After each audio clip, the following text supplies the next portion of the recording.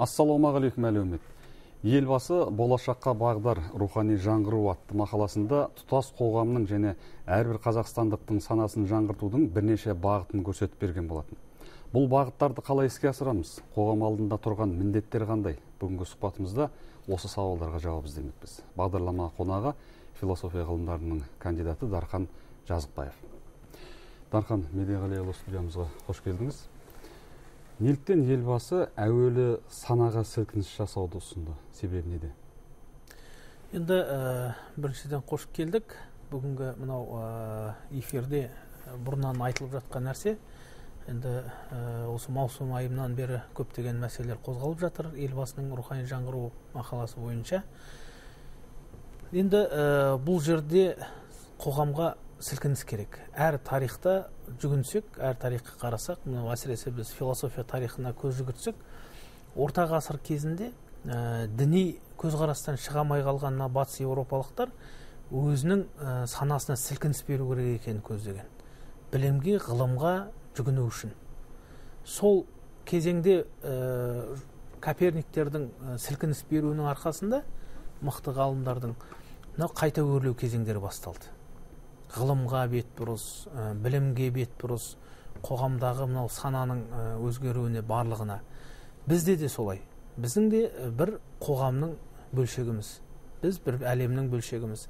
Бұның қоғамға сілкініс бергендегі біз осы 26 жыл бойы нарықтық экономиканы айтып келдік. Нарықтық экономика бұл біздің жаңағы адамдардың материалдық құндылықтарын көтеру. Өзі адамдарға екі нәрсе қажет. Біріншісі жаңағы рухани құндылық десек екіншісі материалдық құндылық. Осыған байланысты біздің ә, санамызға қазір сілкініс керек болды. Себебі біздің халқымыз біздің қоғам нарықтық экономикаға бейімделді. Бизнес құрылымдар ә, қазіргі заман талабына сай өзіндік ә, жолдарын тапты. Ә, қазір әр ауылға барсаңыз немесе ауданға барсаңыз ә, дүкендер бар кафелер бар елдер күнкөріс көзін тауып жұмыс істеп жатыр. Өз өздерін қамтып жатыр. Бұл дұрыс. Негізі қаланды. Бұл негізі қаланды. Енді қазір бізге не керек? Бізге қоғамға қазіргі сілкініс бұл санаға сілкініс керек. Яғни біз қоғамға қандай жиырма бірінші ғасырға қандай жолмен барамыз деген кезде біз ол жерге тек қана біліммен ғылыммен ғана барамыз. Сол кезде бізге үлкен ә, мына санаға сілкініс керек болды. Яғни сананы түсінікті пайымды иә, өзгерту керек. өзгерту керек болды. Сондықтан да елбасы осы өзінің ә, рухани жаңғыру мақаласын қоғамға арнады. Яғни біз бұл қоғамдағы ұлттық санаға сілкініс беру. Жақсы. Енді елбасы осы ә, жаңғырудың басты шарты ретінде ұлттық кодты сақтауды ұсынды.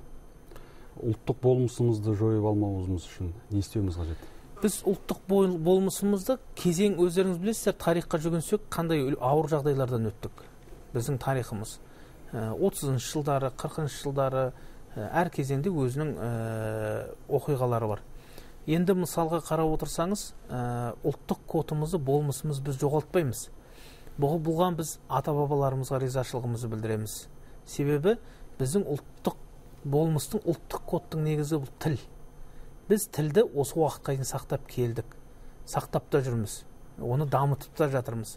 Сондықтан да осы болмысымызды ары қарай жаңғырту үшін осы ұлттық санаға серпіліс жасады елбасы. Дәстүрлер кіре ме осы болмысқа? Негізінде ә, ұлттық код дегеніміз бұл сананың болмысы. Яғни болмыс дегеніміз бұл ә, біріншіден тіл діл салт дәстүріміз осы біздің ұлттық кодымыздың негізгі алғышарттары. Біз бұларды жоғалтпауымыз керек. Бұл әр отбасының отбасында болу керек. Қоғамда әр отбасында осы ә, дәстүр сақталғанда біздің біздің ұлттық кодымыз ұлттық болмысымыз жоғалмайды. Осы дәстүрден тәрбие келіп шығады біздің. Енді ә, дәстүрдің өзі негізгі тәрбиеден ғой. Тәрбие арқылы мына дәстүр жүріп отырады. Ә, қазіргі кездегі біз қоғамымыздағы ә, тәрбиелік мағынаға көп мән беруіміз қажет. Себебі қазіргі кезде біз қоғамда мынау ә, егемендік алғаннан бері орта көп орта қалыптасты. Ә, жаңағы діни орталар болды қалыптасты. Ә, басқа да көптеген орталарымыз болды партиялар болды. Басқасы мысалға осының барлығы адамның санасына әсер етті тәрбиесіне әсер етті. Сол кезде біз осы өзіміздің салт дәстүрімізді жоғалтпау үшін осы тәрбие қажет. Тәрбиенің маңыздылығы қаншалықты мемлекеттегі тәрбиенің маңыздылығы мемлекетте бірінші кезеңде тұрады. Тұру керек. Менің ойымша. Себебі тәрбиесіз ә, әл фарабидің сөзі бар ғой. Ә, тәрбиесіз берілген білім адамзаттың қас жауы дейді. Міне осы бір ауыз сөздің өзі жеткілікті. Иә. Енді елбасы осы мақаласында ә, тағы бір маңызды бағыттың бірі ретінде бәсекелік қабілет қажет екендігін атап көрсетті. Бұл осы бәсекелік қабілет дәл қазіргі сәтте біз қоғамымыздың нақты қай саласында айрықша қажетті енді ә, біз бәсекелестікке қазіргі кезде ә, қандай да бір ә, жаңалықтармен ойлармен баруымыз керек. Себебі абай атамыздың сөзі бар ғой абай хакім былай дейді адам адамзаттың артықшылығы дейді бірін бірінен адамның артықшылығы. Бұл ақыл ой ғылым білім. Негізі дейді. Қалғанын жағынан артықшылығымыз дегеннің барлығы ақымақтық дейді. Сондықтан да біз тек қана ғылыммен біліммен ғана жаңа қоғамға бәсекелестікке түсе аламыз. Ақылмен ғана. Ақылдың өзі бұл бірлік. Осы бірлігімізді сақтап ақылмен ғылыммен біліммен ғана бәсекелестікке түсеміз. Міне бәсекелестіктің негізгі мақсаты осы. Яғни осы білім алуға ғылымды дамытуға ғылыммен айналысуға көбірек мән беріп соған бет бұруымыз керек. Әрине біз қазір осы тәрбиені қалыптастырып осы айтып отырған ұлттық салт дәстүрімізді ұлттық жаңағы тілімізді ділімізді сақтай отырып жас буынды біз тәрбиелей отырып біз білімге тәрбиелеуіміз керек ғылымға тәрбиелеуіміз керек. Себебі ә, баяғыда біз өзіңіз есіңізде шығар оқыған кезде бізде көптеген ғибратты ә, кружоктар болатын үйірмелер. yeah, yeah, yeah. үйірмелер болатын.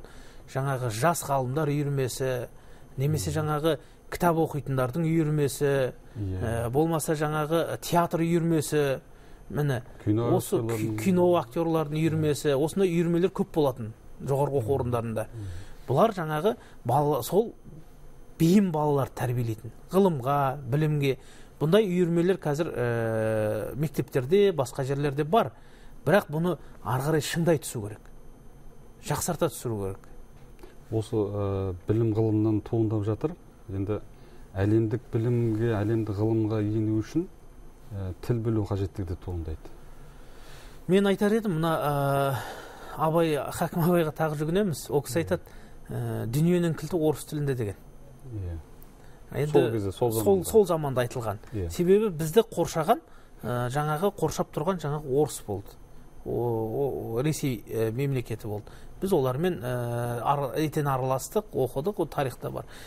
Енді ол кісі солай деп айтқан заманында yeah. ал қазіргі кезде бізге тілді ә, меңгеру бұл басқа жолға ғылымға техника технологияға шығу.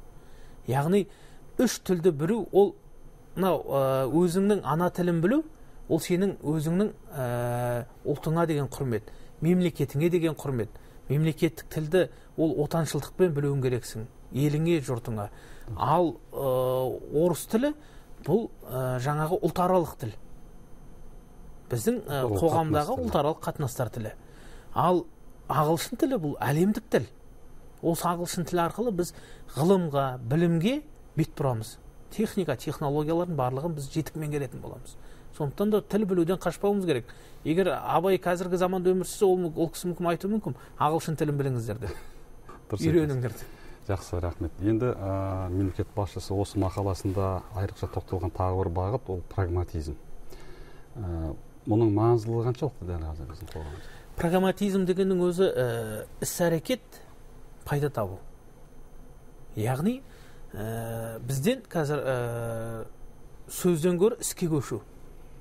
Іске көшіп мына ә, озық техника технологияларды алып келіп өзіміздің қоғамымызға соны сіңдіріп ары қарай соны жүргізу содан пайда табу іс жасау. Осыған жетелейді. Сондықтан да біз бір қазір бір жақсы бір технология табу бір мақсат емес. Менің ойымша сол бар нәрсені алып келіп осы жерде жасап соны ары қарай өңдіріп шығарсақ бұның өзі біз үшін прагматизм. Жақсы жаңа алдындағы сұраққа қайта көшсек ә, қайта оралсақ. Ә, ұлттық болмысымызды сақтау туралы сауал болды. Осы жерде ә, мемлекет пен қоғамның жаңағы міндеттерін анықтап алған дұрыс сияқты. Ұлттық кодты сақтауда мемлекеттің міндеті қандай? Қоғамның міндеті қандай? Енді ә, бұл жерде ә, тағы бір нәрсеге сүйенсек мұнда мынандай бір ой бар. Өзі ұлттық сана тарихи ә, сана қалыптасқан кезде ұлттық сана өзінің орнының ерекшелігіне келеді. А ұлттық санадан ары қарай қоғамды қалыптастыру үшін қоғамға жұмыс жасау үшін азаматтық сана керек. Азаматтық сана дегеніміз бұл қоғамдағы болып жатқан ә, әрбір бағдарламаға бейжай қарамау. Мемлекет өзінің қызметін жасап жатыр үкімет. Ол ә, бағдарламалар шығарады ә, бағдарламаларды береді сол бағдарламаларды ары қарай іске асыратын кім? Іске асыратын оны қоғам. Егер біз ол бағдарламалардан бейжай қалып жататын болсақ онда қоғамның ешқандай азаматтық сана ол жерде орын таппайды.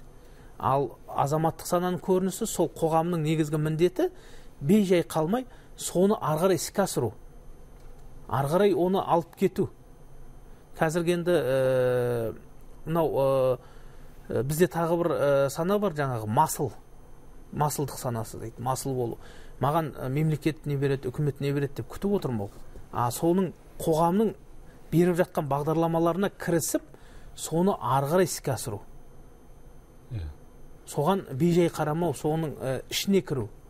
Сонда қоғам сыртта қалмайды. Қоғам мемлекеттің бір тұтастығы. Сондықтан алға жүріп отырады. Ә, шынында да мемлекет не беру керек анығында жаңағы мемлекет мысалға өздеріңіз көріп отырсыздар бағдарламаларды ұсынып отыр. Жеке кәсіпкерлік бағдарлама ашуға мүмкіндік жасап отыр. Ә, жаңағы ә, мемлекет жаңағы ә, оқу орындарына ә, жолдама ғылыми жаңағы ә, проектілер жасауға жобалар жағдайын жасау жолдарын көрсетіп ә, жағдайларын жасап отыр. Тек әрекет керек. тек қана әрекет қажет. Ал енді ұлттық код бар. Ұлттық сана бар.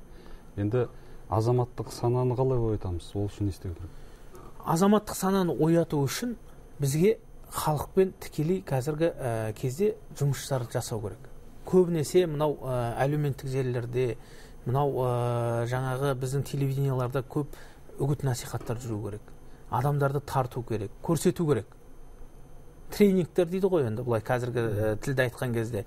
Сондай көп нәрселер жүргізу керек оны бару керек. Үгіт насихат жүрмей оны адамдар ешқашан да оны көріп біліп отырмайды. Себебі адамдардың қазіргі кезде телевизор көріп немесе радио тыңдап отыруға да уақыты болмайды. Радиоларды тыңдаса белгілі бір уақытта жұмысқа баратқан кезде немесе жұмыстан келе жатқан уақытта. Қалған кезде адам жұмыста. Одан кейін телевидение де солай. Адам ә, таңертең үйінен шығып жатқан кезде көреді немесе кешке келгеннен кейін көреді.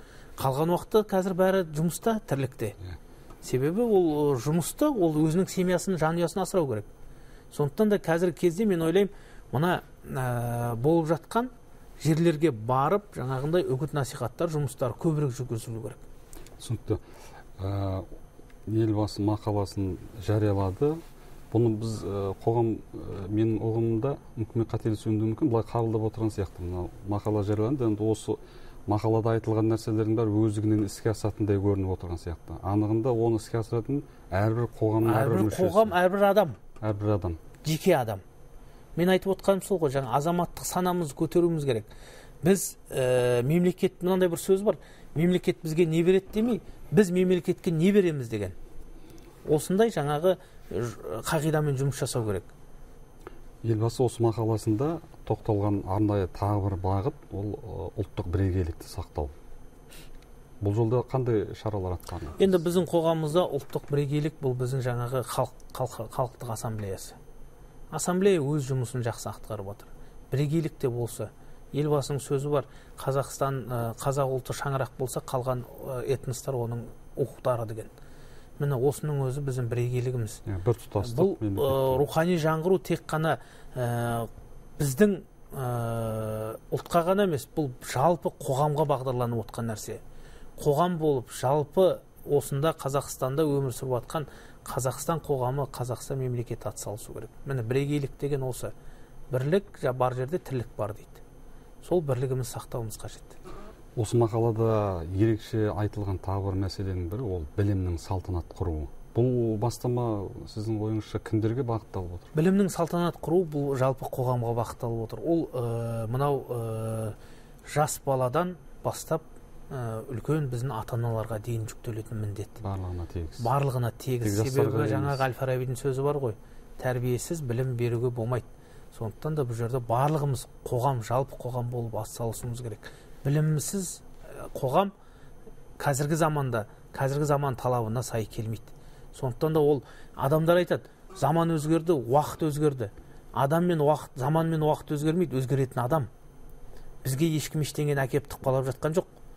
Біздің құндылықтарымыз сақтайтын өзіміз барлығы адамның өзіне байланысты. Бізде мынау жаңағы айтып отқан рухани құндылықтар мен материалдық құндылықтар тепе теңдігін сақтаған кезде қоғам дамиды. Ал бізде қазір санамызды ә, жаңағы материалдық құндылықтар көбінесе билеп кетіп жатыр. Соның арқасында біз мына жаңағы білімнің салтанат құруын білімдік ұстанымдарды ұмытып кетіп жатырмыз осы білімнің ә, салтанат құру деген бастаманы қоғамымызда білім культін қалыптастыру керек дегенге арасында ұқсастық бар ма осы екі екеуінің ә, ешқандай ә, айырмашылығы жоқ. Білімдік культ дегеніміз бұл ә, білімнің мәдениетін білім алуға білім алудың ұмтылыс. оның баланың ә, дарындылығын ашу баланы соған жетелеу соған үйрету. Ары қарай білім өз салтанат құрады. Сол баланы біз аша алсақ ол бала ертең өзінің сол білімімен үлкен жетістіктерге жетеді. Білімді барлығынан бірінші орынға қою. Әрине бірінші кезекте мен айтар едім бірінші кезекте бізде тәрбие қажет. Тәрбиені жақсылап тұрып ә, тәрбиелеген бала ол білім алады. Ол міндетті түрде емес. Бір жаңалық білім деген кезде бізде ойлайды бір жаңалық ашу немесе жаңағы ә, ғалым болу жоқ. Ол әр саланың мамандығы ол ертең бізде мынау еңбек бағалау деген нәрсені кейде ұмытып кетіп жатамыз. Еңбекті бағалай білсек ертең балаң барып сантехник болса да оны да білу керек. Оны білмей сен сантехник бола алмайсың оқи алмайсың.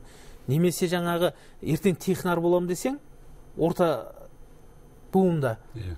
Оны да білу керек оны да оқу керек. Ол да білім. Ол ә, мысалға мынау ә, қазір біз түсіріп жатқан операторлар оқымаса білмесе ол түсіре алмайды ғой. Иә. Тәжірибелік олардың да арасында өзінің бәсекелестігі бар. Міне сондықтан да әр мамандықтың өзінің бәсекелестігі бар. Сондықтан да бізге мынау ә, білімді білім деген кезде бір ә, жаңалық ашатындай немесе ертең ол ғалым болатындай үлкен көріністе емес. Әр саланың өзінің білім маманы болу. Жақсы түсінікті. Соңғы сауал. Ә, осы ә, аталған бағыттардың тағы біреуі елбасы өз мақаласында да көрсеткен. Ол мына сананың ашықтығы. Сананың ашықтығын қалай түсінеміз? Жалпы оның маңыздылығы қаншалықты? Біз бір нәрсені жақсы түсінуіміз керек. Біз бүкіл әлемнің бір ә, бөлшегіміз. Тұтас әлемнің бір бөлшегіміз. Бізге әлем әсер етпей тұрмайды. Ал бірақ сананың ашықтығы деген ол келген ақпараттың бәрін бірдей ала бермеу. Іріктеу. Іріктеу. Сүзгіден қажет нәрсені сүзгіден өткізіп қажет нәрсе біздің қоғамымызға не қажет? Пайдалысын ғана. Пайдалысын ғана алып пайдасын итеріп тастау. Шығарып тастау санадан. Міне сананың ашықтығы деген осы әлеммен байланыс қарым қатынас озық технологияларды алып келіп өзімізге сіңдіріп озық ғылымдағы мынау айтады ғой гуманитарлық білімдерді қазір ә, оқыту керек деді елбасының жа- несінде. Міне сол кездегі ол жақта шығып жатқан жаңағы жақсы ғылым мықты кітаптарды алып келіп бізге оқытып оны аудару. Міне осы біздің санамыздың ашықтығы. Рахмет. Мына ұлттық санамыздағы сілкініс ілгерілеуге алып келсін деген тілекпен сұхбатымызды осы жерден аяқтайық. Әңгімеңізге көп рахмет. Ал біздің бүгінгі сауалдарымызға философия ғылымдарының кандидаты дархан жазықбаев жауап берді. Сау болыңыздар.